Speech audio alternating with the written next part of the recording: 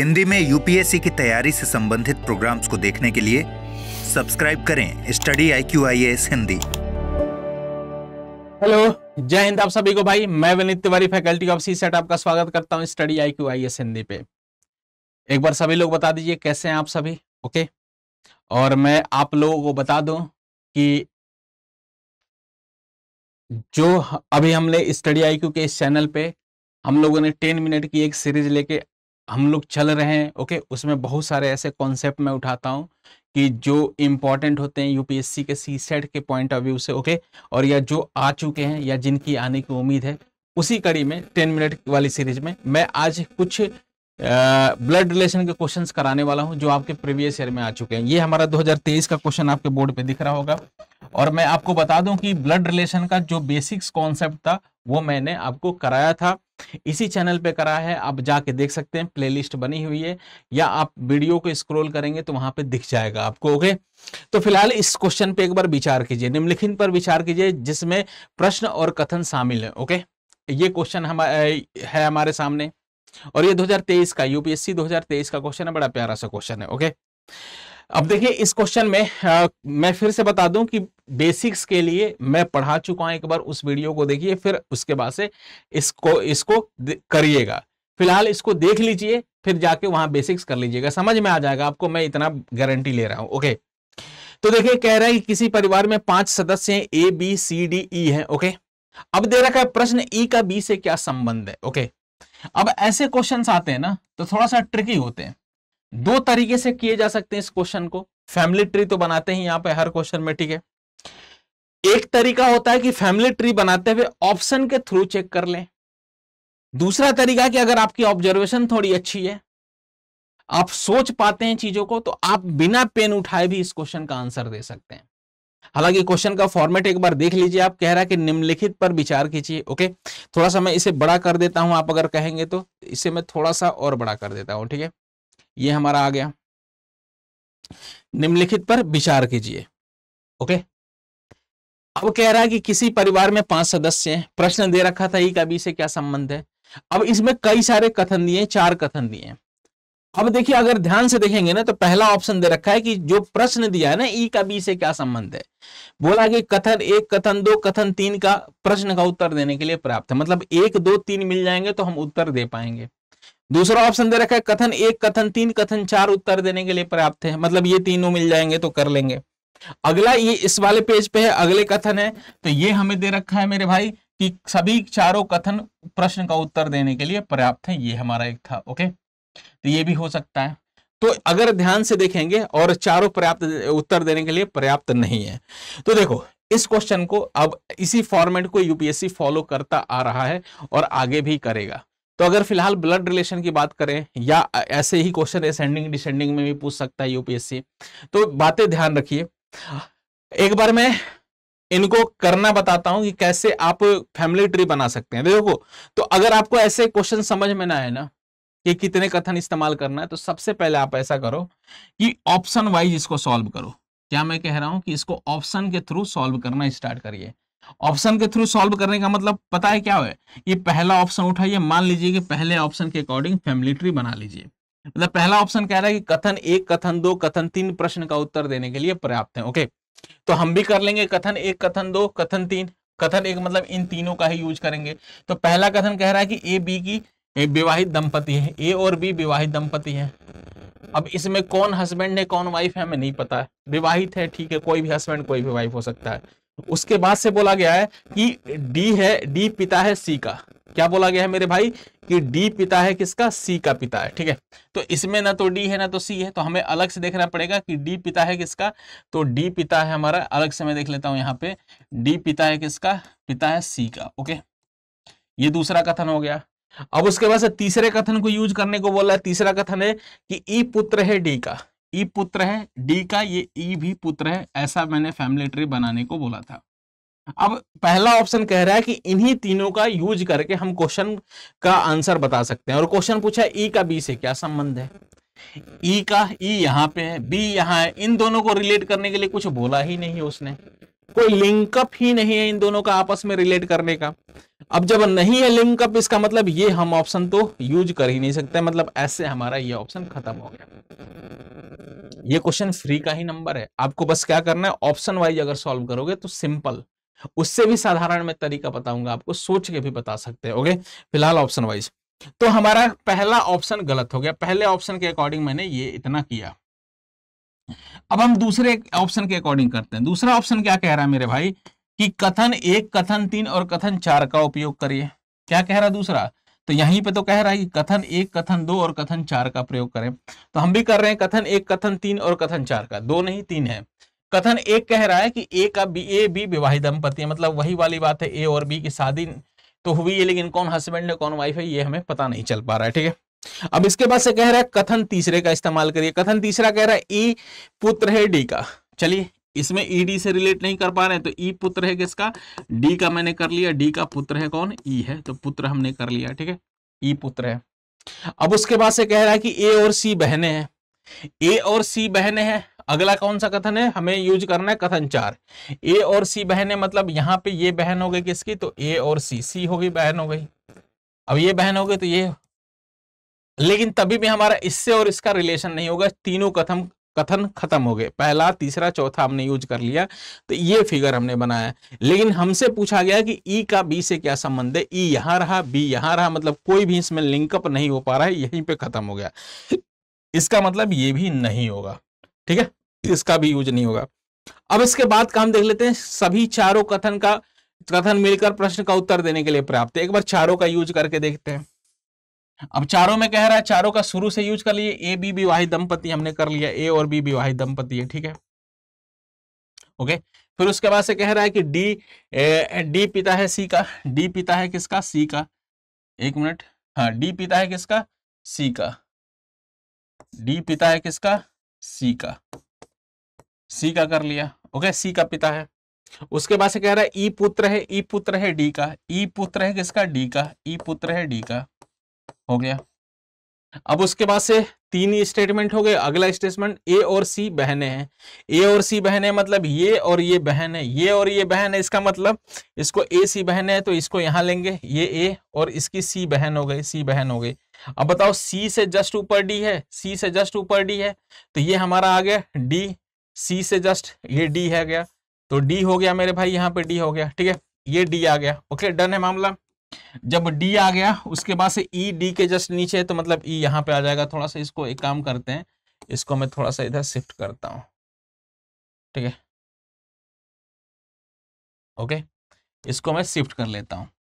अब ये देखिए इसके जस्ट नीचे आ जाएगा। देखो यहाँ डी के नीचे ई e है सी है तो सी तो पहले से आ गया और यहाँ पे ई आ गया। ओके? मतलब हमने चारों स्टेटमेंट यूज़ किया और यहाँ से यहाँ तक आ गया फिगर अब इसमें हम आराम से बता सकते हैं, पूछा कि ई का बी से क्या संबंध है? तो ई का संबंध किसका? बी से पूछा है तो ई बी का संबंध आपस में हम बता सकते हैं, बड़े आराम से बता सकते हैं, ठीक है? ई का बी से संबंध हम बता सकते हैं ओके अच्छा ये हस्बैंड हो गया तो ये तो वाइफ हो ही गई। ये वाइफ होगी ना, ये दोनों का जेंडर क्लियर था तो हस्बैंड वाइफ हो गए। तो ई का बी से संबंध हम बता लेंगे ओके बिल्कुल बता लेंगे। कौन, किसका क्या लगेगा, ये नहीं पूछा है। कितने, इस प्रश्न का उत्तर देने के लिए कितने कथन पर्याप्त है कौन कौन से ओके तो इस तरीके से कर लेंगे ओके अच्छा इसमें ऐसा भी आ सकता है कि कितने कथन का यूज़ करके, निम्नलिखित में से कितने कथनों का यूज़ करके हम प्रश्न का उत्तर देने के लिए पर्याप्त है। अगर ऐसा दे दिया ना तो ये समझ लो कि उस साल खेल हो जाएगा बड़ा वाला। और उसमें हम ऐसे डिसाइड नहीं कर सकते। तो देखो, इसका सबसे एक सिंपल तरीका और बताता हूँ कि आपको फिगर ना बनाना पड़े, ऑप्शन से चेक नहीं करना पड़े। अब और आसानी से आप इसका आंसर बता सकते हो। उसके लिए मैं आपको बताता हूँ एक तरीका। सबसे यूनिक मेथड में आपको बताने जा रहा हूँ, ठीक है? देखिए, कह रहा है किसी परिवार में, किसी परिवार में पाँच सदस्य हैं, okay? A B C D E okay? कह रहा है ई e का बी से क्या संबंध ऐसा पूछा है। ओके तो हमें ई e से बी की तरफ़ ई e का संबंध पूछा है ना तो बी से ई e की तरफ़ जाना है मतलब ई के बारे में बताना पहली बात। बात समझना क्या मैं कह रहा हूँ? बड़े गहराई की बात कर रहा हूँ और इसी से हो जाएगा, पेन उठाने की ज़रूरत नहीं पड़ेगी। ई के बारे में पूछा गया तो ई के बारे में पूछा गया तो किसी के बारे में पूछा जाता तो मतलब बी से ई की तरफ़ हम जाएँगे और ई का जेंडर भी पता होना चाहिए। अगर मान लो, पुरुष होगा तभी बता पाएँगे या स्त्री होगा तभी तो बता सकते हैं। अगर मामा मामी, चाचा, चाची, पुरुष, स्त्री का तो डिफरेंस होना चाहिए ना।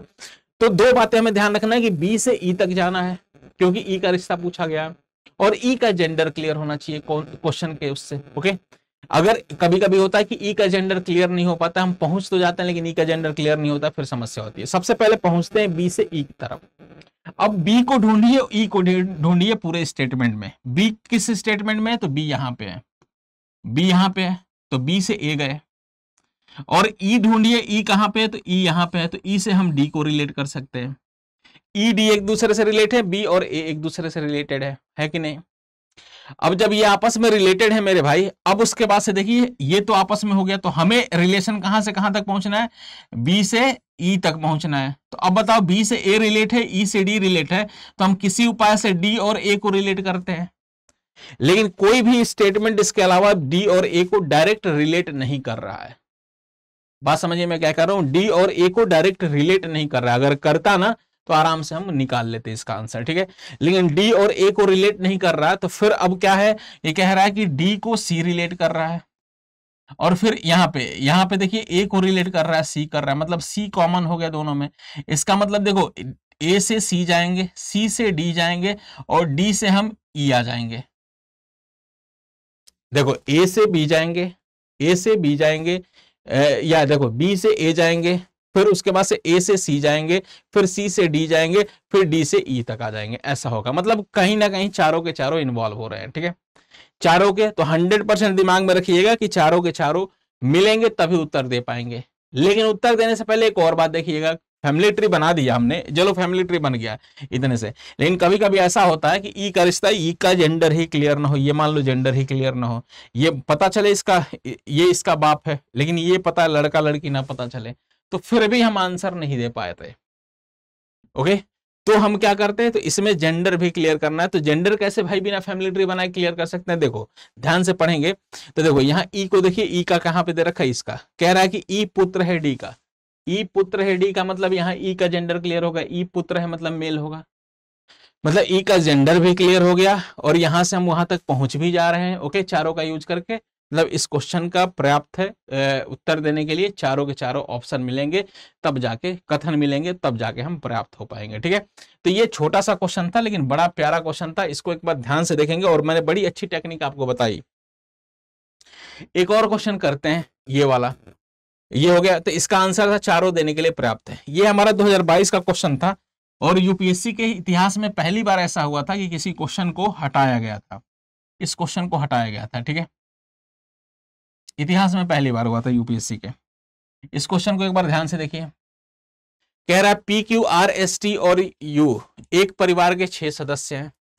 क्यू का पति पत्नी, अब देखो ये गूगल ट्रांसलेट किया जाता है। या ट्रांसलेशन में यूपीएससी मतलब इस बात का ध्यान रखता है कि कहीं कंफ्यूजन ना हो। पति पत्नी यहाँ ऐसा दिया होगा कि क्यू और क्यू और आर एक दूसरे के दंपति है। दंपति मतलब यहाँ पत्नी पत्नी से पति पत्नी से रिप्लेस कर दिया। कोई बात नहीं। कह रहा है टी की माता यू है, ये 2022 का क्वेश्चन है। फिर कह रहा है यू की पुत्री एस है, फिर पी की पुत्र टी है और आर का पुत्र पी है। इस परिवार में दो दंपति हैं। तो तो निम्नलिखित में से कौन सा एक सही है? ओके? चलो बनाते हैं। कह रहा है क्यू का क्यू क्यू का या की पति पत्नी आर है। मतलब क्यू पी और आर क्यू और आर सॉरी क्यू और आर एक दूसरे का हस्बैंड वाइफ है। किनका जेंडर पता नहीं है, लेकिन है हस्बैंड वाइफ है, ठीक है? अब उसके बाद से आगे आते हैं। कह रहा है कि इसके बाद से स्टेटमेंट ये वाला हो गया, हमने सॉल्व कर लिया यहाँ से यहाँ। फिर आगे बोल रहा है टी की माता यू है, एक हो गया। यहाँ से यू की पुत्री एस है, ये अगला स्टेटमेंट हो गया। फिर उसके बाद से पी की पुत्री टी है, एक अगला स्टेटमेंट हो गया। फिर आर का पुत्र पी है, ये अगला स्टेटमेंट हो गया, ठीक है? तो क्यू की पति, पत्नी आर है ओके ये हो गया। टी की माता यू है। टी यहाँ पे नहीं है यू नहीं है तो चलो इसको अभी कुछ देर के लिए स्किप करते हैं। फिर कहता है यू की पुत्री ऐसे यहाँ भी नहीं है। पी की पुत्री टी है, ठीक है, नहीं? यहाँ पे देखिए आर का पुत्र पी है। आर का पुत्र पी है ओके नहीं है। मतलब हम अच्छा आर का पुत्र यहाँ से हम रिलेट कर सकते हैं। आर का पुत्र पी है। तो आर का पुत्र पी है तो पी पुत्र हो गया। अब इसका पुत्र है तो ये हस्बैंड वाइफ है तो इसका भी पुत्र हो गया। फिर यहाँ से उल्टा जाएँगे कि फिर पी का, की पुत्री टी है। पी की पुत्री टी है मतलब पी की पुत्री टी हो गई, ये पुत्री हो गई टी हो गई, इसकी पुत्री हो गई। तो ये भी स्टेटमेंट सॉल्व हो गया। फिर कह रहा है यू की पुत्री एस है यू की पुत्री एस है। चलो ये नहीं पता चल पा रहा है। यहाँ पे देखिए, इसको अभी स्किप करते हैं थोड़ी देर के लिए। फिर कह रहा है टी की माता यू है। अब टी की माता यू है, इसकी माता यू है तो ये ऑलरेडी इसकी बेटी है। तो इसकी माता है मतलब शादी करानी पड़ेगी। टी की माता यू है, यू से शादी करानी पड़ेगी हमें इसकी, ठीक है? तो यू से हमें शादी करा लिया। और फिर कह रहा है कि यू की पुत्री एस है तो इस, इसकी पुत्री एस है। ओके, पुत्री है, इसकी पुत्री है तो इसकी भी पुत्री होगी तो ऐसे कर लेंगे। या ये इसका भी होगा। ओके, संतान। अब हो गया, परिवार में दो दंपति हैं, ये एक दंपति, एक ये दंपति। लेकिन अभी तक किसी भी स्टेटमेंट से मुझे ये समझ में नहीं आया कि क्यू आर कौन कौन है, ठीक है? क्यू आर हस्बैंड है वाइफ है, ये कंफ्यूजन बना रहा ऑप्शन में दे रखा है टी के नाना या दादा या नाना क्यू है? तो ठीक है, चलो, ठीक है, ये पिताजी पिताजी के मान लो पिताजी दादा हो सकते हैं। लेकिन एक सेकंड के लिए अगर ये मान लो फीमेल होंगी फीमेल होंगी तो ये दादी हो जाएँगी दादा की जगह। तो ये वाला तो हम कंफ्यूजन में पड़ गए ओके लेकिन नीचे ऑप्शन जैसे ही दे रखा है, ये टी की दादी या नानी क्यू है? इसका मतलब मेरे भाई ये भी और ये भी दोनों के दोनों हो सकते हैं मतलब ये संभावना बन सकती है मतलब ये गलत हो गए, ठीक है? हमें पता ही नहीं ना जेंडर किसी का आइडेंटिफाई नहीं कर पाएँगे। फिर कह रहा पी की माता आर है तो पी की माता आर हो सकती है जब ये फीमेल होंगी। तो ये भी हमें पता नहीं है हो पाएगा, नहीं होगा मतलब ये भी मतलब ऊपर के तीनों ऑप्शन ना, इसमें हो सकते हैं, लेकिन तीनों दे दिए इसलिए किसी को भी नहीं टिक कर पाएँगे हम। ओके हो सकते हैं। लास्ट दे रखा है कि क्यू की प्रपोत्रे टी है। क्यू की। लेकिन देखो, ये प्र यूज़ होता है ना वर्ड, प्र या पर होता है तो ये हमारा फोर्थ जनरेशन की बात होती है, चौथे जनरेशन में। यहाँ पे पहला, दूसरा, तीसरे तीन जनरेशन की ही बात हो रही है, ठीक है? तीन जनरेशन की बात हो रही है। तो इसका मतलब एक बात तो समझ में आ गई मेरे भाई, कि ये तीन जनरेशन की बात हो रही है, ओके? तीन, लेकिन इसमें चौथे जनरेशन तो ये तो कैसे भी करके नहीं होगा, ये तो ऐसे भी नहीं होगा। अब ये तीनों ऊपर हो सकते थे, ये तीनों के तीनों सही हो सकते थे, अगर जेंडर क्लियर होता तो। अब इस, इसको इसमें कोई भी आंसर सही नहीं है और यूपीएससी इस क्वेश्चन को हटा भी दिया था। 2022 का क्वेश्चन था। ओके हटा भी दिया था, इसको कंसिडर नहीं किया था, इसमें कोई भी आंसर सही नहीं है हमारा। ओके लेकिन ऐसा सोचो मेरे भाई कि अगर मान लो इसमें से कोई एक सही हो जाता तो होने के लिए क्या करते? अगर ऐसा ही आता, मान लो ये दो, बीच के दो न थे इसकी जगह कुछ बकवास दे दिया होता। अगर यही होता, टी की दादा नाना क्यों है? तो हमारा आराम से हो जाता, टी के दादा नाना मतलब ये दादा, मान लेते हैं बेस्ट अप्रोप्रिएट आंसर देख लेते हैं। अगर इस टाइप का कंफ्यूजन ना होता ना ये भी हो सकता है, ये भी हो सकता है, ये भी हो सकता है, बस जेंडर डिसाइड हो जाएगा तो। अगर ऐसा ना हो तो हम अगर मान लो कुछ बकवास दे रखा हो कि वो इससे हो, जैसे इस ये बकवास दे रखा है, ये चौथी पीढ़ी का है। मान लो ऐसे पांचवी पीढ़ी का दे दे, या ऐसा दे दे, जीजा साला कर देता है इसमें, जीजा साला कोई है ही नहीं। ओके मतलब वो बकवास से आंसर होते ऐसा बोलता कि टी क्यू का जीजा है, ऐसा बोल देता जीजा साला के यहाँ कुछ है ही नहीं कॉन्सेप्ट मामा का मामा का भी कहीं कॉन्सेप्ट नहीं मामा को दे देता। और ये ऊपर वाला ऑप्शन देता तो हमारा ऊपर वाला ऑप्शन सही हो जाता, ठीक है? ऊपर वाला ऑप्शन हमारा सही हो जाता, बिल्कुल, ओके? तो ध्यान से आप लोग करेंगे, देखेंगे तो चीज़ें समझ में आ जाएँगी। फ़िलहाल ऐसे ही क्लासेज में लेके आता रहूँगा और ये इंपॉर्टेंट बातें बता दी मैंने, ओके? कुछ और सबसे ज़रूरी बात मैं आपको बताना चाहूँगा कि स्टडी आईक्यू की तरफ़ से आप सभी को होली की फिर से हार्दिक शुभकामनाएँ, ओके? होली स्पेशल बैच का ये देखिए होली स्पेशल बैच का आ, अब बेस्ट बेस्ट बैच है और ये समझिए डिस्काउंटेड प्राइस पे ये बैच अवेलेबल है ओके? इससे कम डिस्काउंट पे बैच मेरे हिसाब से इस सेशन में नहीं मिला। मतलब सी साइड के लिए मैं बोल रहा हूँ ये बात ओके? सी साइड के लिए इससे कम प्राइस पे बैच। अब ये देखिए ये इतने कम प्राइस पे बैच अवेलेबल है और प्रिलिम्स इंटरव्यू तक का बैच है ओके? इसमें सी सेट भी इंक्लूड है इस बैच में मेरे भाई, पहली बात। और इस बैच को आपको ज्वाइन करने के लिए V T live code use करेंगे तो ये ज़्यादा से ज़्यादा डिस्काउंट मिल जाएगा। आई थिंक ये पूरा डिस्काउंट मिल जाएगा, ठीक है? मतलब इतना डिस्काउंट मिल जाएगा तो आपको ये बैच ये जैसे ही कोड अप्लाई करेंगे प्राइस बहुत ज़्यादा दिखा रहा होगा, लेकिन जैसे ही कोड अप्लाई करेंगे, इक्कीस हज़ार नौ सौ निन्यानवे में ये बैच मिल जाएगा आपको, ठीक है? लेकिन सबसे ज़रूरी बात मैं आपको बताना चाहूँगा कि ये डेट आप ध्यान रखिएगा 26 मार्च को, ठीक है? 26 मार्च तक ही ये वैलिड है। अगर 26 मार्च से पहले पहले या 26 मार्च तक अगर आप इसको परचेज कर लिए तो ये ऑफ़र है, नहीं तो फिर जैसे ही सत्ताईस आएगा, ये दाम बढ़ जाएगा, ठीक है? तो ये विशेष होली के लिए आप लोगों को एक एक तरीके से कहो एक गिफ्ट है हमारी तरफ़ से, ओके? इस बैच में सी सेट इंक्लूड है बार बार मैं कह रहा हूँ, सी सेट अलग से लेने की ज़रूरत नहीं, प्री से इंटरव्यू तक के जितने होते हैं चरण सब इसमें इंक्लूडेड है, ओके? होते हैं। बाइलिंगुअल बैच इंग्लिश में भी मिल जाएगा, बाइलिंगुअल मिल जाएगा, आपको एप्लीकेशन पे जाएँगे, आपको दिख जाएगा, वीटी लाइव कोड यूज़ किया करें, ठीक है? ये हिंदी में है, बाकी मोर इन्फॉर्मेशन के लिए आप एप्लीकेशन पे जाएँगे, आपको ये बैच दिख जाएगा वहाँ पे पीडीएफ फॉर्म में बहुत सारी इन्फॉर्मेशन दी होती है, आप देख सकते हैं। उसके बाद भी कोई दिक्कत होगी तो टोल फ्री नंबर दिया है, आप वहाँ से कॉल कर सकते हैं। इस चैनल पे भी आपको टोल फ्री नंबर दिख जाएगा, वहाँ से भी आप कॉल बैक कर सकते हैं। या किसी भी वीडियो में कमेंट बॉक्स में कमेंट कर दीजिए कि मुझे बैच लेना है, अपना ईमेल आईडी या कुछ अपना, जैसे भी हो आपसे रीच आउट किया जा सकता है। वैसे आप बस कमेंट कर दीजिएगा कि मुझे बैच लेना तो उस हिसाब से भी आपको इंफॉर्मेशन मिल जाएगी, ठीक है? बहुत सारी। उसके बाद या तो मेरे को मेरे को आप ईमेल कर सकते हैं, मेरे से भी इंफॉर्मेशन ले सकते हैं। उसके बाद भी मैं बता दूँ, एक और इंफॉर्मेशन आपको, कि ये इतने कम प्राइस में एक और बैच अवेलेबल है और ये इस सीज़न का सबसे कम मतलब सबसे लोएस्ट प्राइस है सी सेट सेपरेट बैच का। आप सी सेट का सेपरेट बैच अगर लेना चाहते हैं तो देखिए, पहले ये चार हज़ार नौ सौ निन्यानवे मिलता था, अब दो हज़ार चार सौ निन्यानवे में ये बैच अवेलेबल है ओके बेहतरीन बैच है वीटी लाइव कोड यूज़ करें okay VT live code use करेंगे तो आपको ये डिस्काउंट मिल जाएगा ओके ये डिस्काउंट ज़्यादा से ज़्यादा डिस्काउंट मिलेगा और साठ दिनों का बैच है ओके साठ दिनों में ओके और उसके बाद से 21 मार्च 2024 को ये बैच खत्म हो जाएगा।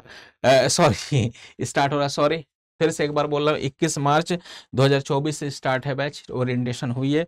ओके, लेकिन शानदार बैच चल रहा और सबसे बड़ी बात मैं बता दूँ, ये 26 मार्च तक ये वैलिडिटी है, ओके? 26 मार्च तक ही वैलिडिटी है। 26 मार्च तक ही आप इसे ले सकते हो। उसके बाद फिर आप परचेज करना चाहेंगे तो ऑलरेडी प्राइस बढ़ा हुआ आपको मिलेगा, ठीक है? तो ये डिस्काउंटेड प्राइस है 26 मार्च तक तो आप इसे ले सकते हैं, बेहतरीन बैच है, ओके? फ़िलहाल के लिए, अगर आप कोई भी मेरे से इन्फॉर्मेशन चाहते हैं, अगर कुछ भी पूछना चाहते हैं डाउट्स वगैरह हो, कुछ भी हो तो आप मेरे को यहाँ पे मेल कर सकते हैं Vineet dot Tiwari at the rate study I Q dot com पर आप, मैं आपको रीच आउट कर लूँगा ओके कोई भी समस्या हो इंक्वायरी हो, या कुछ पूछना हो बैच के बारे में, या आपको डाउट भी हो ना, प्रश्न में, वो भी पूछ सकते हैं। मेरा टेलीग्राम चैनल विनीत तिवारी में, इससे भी जुड़ जाइए। बहुत सारी चीज़ें यहाँ भी मिलेंगी। आपको। ठीक है, अभी के लिए जय हिंद, जय भारत, मिलते हैं हम अगली क्लास में।